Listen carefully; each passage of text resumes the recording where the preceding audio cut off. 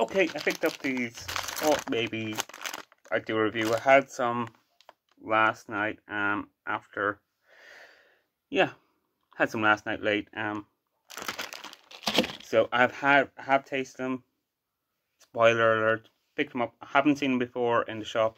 So they are Maltesers biscuits, and they come in a pack like these. So I've eaten quite a few of them last night. And I thought I'd try my tea. So they were reduced. I think they're one euro fifty or one euro. Yeah, one forty-five.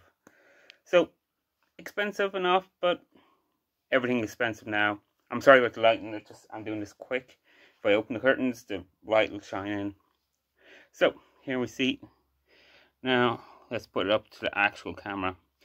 For me, I'm tasting them there's not enough chocolate. It's it's too biscuity. Or too um yeah, too much biscuit. It needs a bit more chocolate.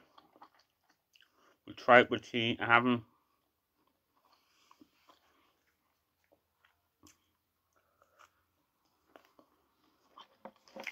Um, should say the grams, how many grams it is. Uh, 110 grams uh, there is two, four, six, eight, ten, ten biscuits. so if it's 150, 10 biscuits, 15 cents a biscuit.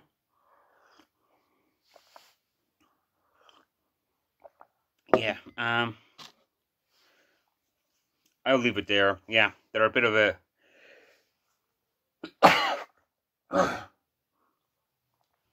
Sorry about that. Hopefully I can cut that out. Bit of a fail for me. Um, if you try them, what do you think of them? And till next time, not sure when this is coming out. Um, yeah, um, bit of a Thomas down. I won't be getting them again. They're too much biscuit. Need a bit more chocolate.